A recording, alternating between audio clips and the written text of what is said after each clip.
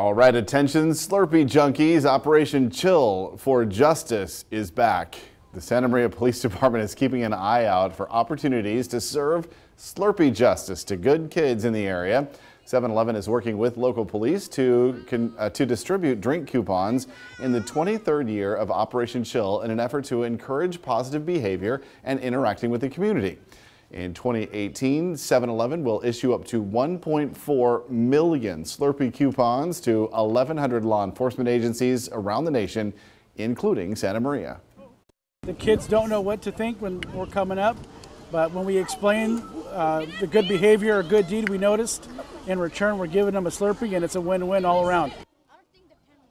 Officers began the operations yesterday with an appearance at Oakley Elementary, so be on the lookout for Santa Maria Police.